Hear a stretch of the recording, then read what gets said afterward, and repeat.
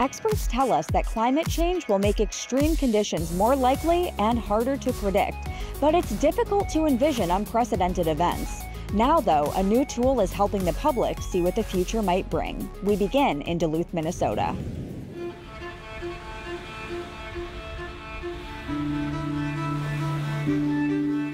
Paul Troyer and Don Buck both live on Minnesota Point, a thin strip of land that protects the Port of Duluth from the powerful storms of Lake Superior. This is the largest inland port by tonnage in the United States. The port of Duluth is here entirely because of Minnesota Point. It stops these storms that produce winds up to 100 miles an hour, waves that are enormous. Without the point, we wouldn't have the shipping, which is a multi billion dollar industry for the whole region. It's unparalleled and it's a global treasure. And so we're, I'm grouping together with our community club members to try to, to take care of it into the future. That future is a little uncertain because Minnesota Point has been eroding. And the erosion is progressive and it's eating away at all the sand material that's been put along the point. For years, the U.S. Army Corps of Engineers has used dredged material from the harbor to reinforce Minnesota Point's shoreline. But it's a temporary fix, and worried residents want a long term solution. If nothing is done, both ends of Park Point may be breached meaning the water will come over and go to the other side. The dunes will wash away, homes will be in peril, infrastructure will be ruined. People around here have seen the threat posed by climate change more precipitation, more powerful storms. But in other shoreline areas around the Great Lakes, the threat isn't so visible. That's something Brandon Krumwiede is trying to change. My name is Brandon Krumwiede. I am a physical scientist with NOAA's Office for Coastal Management. You can now actually type in any location in the Great Lakes region and it will actually zoom to that particular location. Krumwiede is demonstrating how NOAA's Lake Level Viewer program works. In this particular case, he zeroes in on the Traverse City, Michigan area. I'll just go over here, for example, to the harbor. And so as you zoom in, you can then now actually adjust the water levels here on the left side. The program gives the general public a glimpse of a possible future and the potential impact of climate change. And you'll actually see what parts of the community become inundated as water levels rise up. NOAA's Lake Level Viewer covers the entire U.S. shoreline of the Great Lakes. Sorry, Canadian friends. And a new feature is a ground level view Currently, there are 12 simulated views around the region with more to come. This is a view of St. Clair Metro Park on Lake St. Clair, northeast of Detroit. You can actually see as water levels go up, right now nothing's being impacted, but as we get far exceeding what we've ever recorded, this is the what if, which parts of the shoreline would be impacted, but then you can actually see, you know, what does a, a plus 10 feet from low water datum actually look like for Lake St. Clair here and kind of this setting at the park.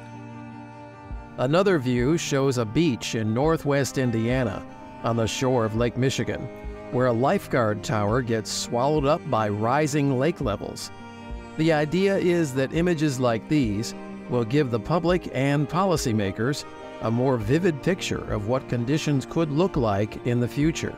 So I don't think it, we want to put this out as a, a scare tactic, um, but just being a little bit more mindful and, and open to understanding how dynamic our coastal environments really are here in the Great Lakes region. These visualizations show water levels several feet higher than have ever been recorded in real life. But the aim is for these unlikely extremes to help waterfront communities plan for a worst case scenario. The hope here is empowering users to see the impacts so that they can work with their community leaders and think about the future and how we become resilient communities for the next generation.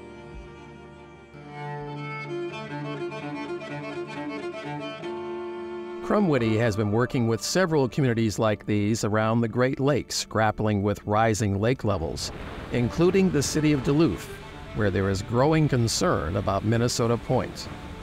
On the north end of Minnesota Point, we have a problem of chronic uh, cumulative land loss. So we're losing beach. Jim Filby Williams manages green spaces and natural resources for the city of Duluth.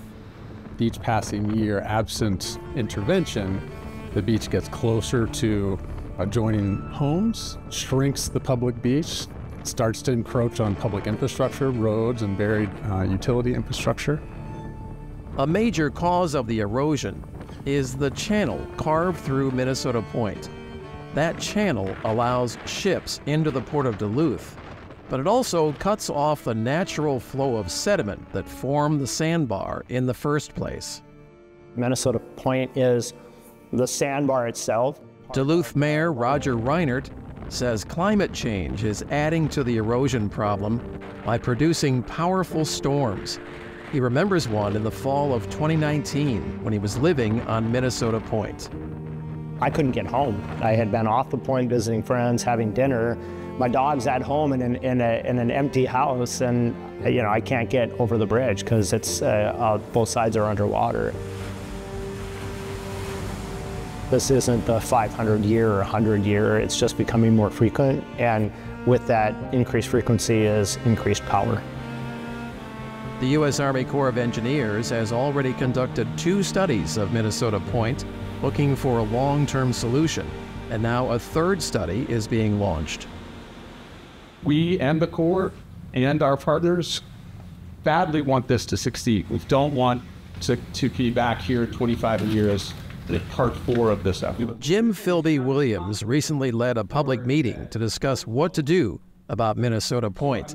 The U.S. Army Corps of Engineers has the authority to prevent or mitigate damages caused by federal navigation work, like the shipping channel that cuts through Minnesota Point. So the purpose of this project is to determine how much erosion is being caused by those federal structures, develop recommendations for how to correct that erosion and um, design those mitigating uh, structures or efforts that can be implemented jointly by the Corps and the city of Duluth. At the meeting, a few residents living along Minnesota Point had a chance to express their opinions. Doesn't make any sense at all. You don't even need a computer to figure out that that sends being blocked. It's not going anywhere to come onto Park Point. It's just being blocked. How to solve the problem at Minnesota Point is still in the early planning stages. The Corps is engaged in helping to define what those solutions are, and to the Corps' credit, I think they acknowledge that previous work has caused much of what now is a problem. Getting back to the role that NOAA is playing in this effort, Troyer says the government agency has been extremely helpful.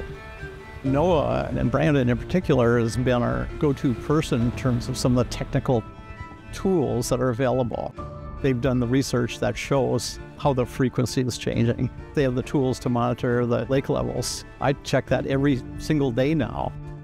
It really is a tool that's been developed with the user community in mind and making sure that the functions people have asked for, we're starting to incorporate more and more of those into the tools. The bottom line is that Minnesota Point is in jeopardy, and tools like NOAA's Lake Level Viewer are helping residents and officials understand the threat and act. It is a place that Duluthians go to spend summer, to be at the beach, to enjoy everything summer has to offer. So as we talk about this, just encouraging for all of those who have a place in their heart for Park Point and Lake Superior and the beach to be thinking about this issue and seeing if there isn't an opportunity to participate in the solutions. Thanks so much for watching. If you enjoyed this video, don't forget to like and subscribe, and check out our YouTube channel for even more Great Lakes Now. See you out on the lakes.